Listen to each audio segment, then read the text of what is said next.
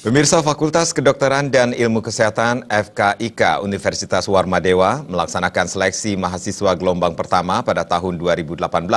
Pada seleksi mahasiswa tahun ini, FKIK Universitas Warmadewa kembali menggunakan sistem computer based test atau CBT untuk menghindari kecurangan dan diharapkan dapat menghasilkan calon mahasiswa yang berkualitas. Sebanyak 205 orang peserta mengikuti seleksi mahasiswa gelombang pertama Fakultas Kedokteran dan Ilmu Kesehatan Universitas Warmadewa. 205 orang tersebut hanya 6-70 orang yang akan lulus menjadi mahasiswa di Fakultas Kedokteran dan Ilmu Kesehatan. Dengan demikian, FKIK Unwar semakin diminati terbukti dengan peningkatan jumlah peserta yang mengikuti seleksi pada tahun ini. Ada dua tahap yang harus diikuti oleh calon mahasiswa. Yang pertama adalah tes akademik dan selanjutnya calon mahasiswa juga harus mengikuti tes kesehatan dan wawancara. Rektor Universitas Warmadewa Profesor Dewa Putuwijana mengatakan, seleksi ini juga menekankan kualitas yang mana calon mahasiswa harus memiliki nilai minimal 70 untuk semua mata pelajaran di SMA. Pada seleksi tersebut juga menggunakan sistem komputer based of test atau CBT untuk menghindari segala kemungkinan kecurangan selama tes berlangsung. Sistem CBT ini pertama kali digunakan di Fakultas Kedokteran dan Ilmu Kesehatan Unwar. Yang jelas tahun ini ada kenaikan peminat sebanyak 25 persen dibandingkan dengan tahun lalu. Ini satu hal yang cukup mengembirakan.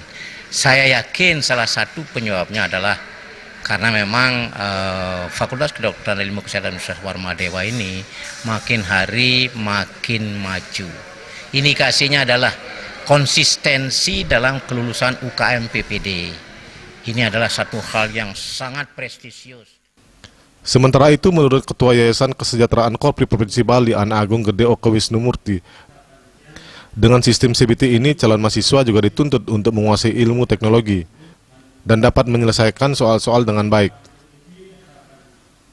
Fakultas Kedokteran dan Ilmu Kesehatan Unwar merupakan fakultas favorit di mana tren mahasiswa setiap tahunnya selalu mengalami peningkatan. Yang hari ini melaksanakan uh, tes potensi akademik yang dilanjutkan juga dengan tes-tes yang lain. Dan untuk gelombang pertama ini ada peningkatan yang cukup signifikan kalau kita bandingkan dengan tahun yang lalu. Jadi hari hari ini ada 205 calon mahasiswa yang nanti akan bersaing di antara mereka.